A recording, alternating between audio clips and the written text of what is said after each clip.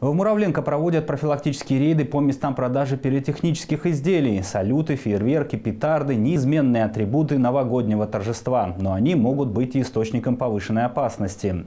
В одном из рейдов побывала Ирина Бугрим. Несоблюдение правил применения пиротехнических средств может создать угрозу для жизни и здоровья, привести к быстрому возникновению пожара. Самое главное – покупать фейерверки и салюты необходимо в специализированных торговых точках и ни в коем случае не в местах несанкционированной торговли, ведь это товар повышенной опасности. В Муравленко приобрести пиротехнику можно в четырех торговых точках. В местах продажи должны соблюдаться правила хранения пиротехнического товара, установлены системы оповещения о пожаре, в наличии должны быть исправные огнетушители. Особое внимание обращалось на соответствие сертификатов, товарных накладных, э, на имеющиеся э, пиротехнические изделия. С продавцами проводился дополнительный противопожарный инструктаж на соблюдение мер пожарной безопасности.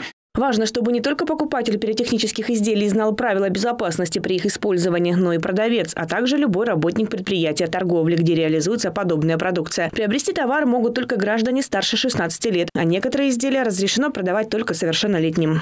При запуске пиротехнической продукции следует соблюдать требования пожарной безопасности, а именно это расстояние от зданий сооружений. Также следует придерживаться инструкций завода-изготовителя, соблюдать возрастной ценз, не допускать для запуска детям, подросткам, не достигшим как минимум 16 лет.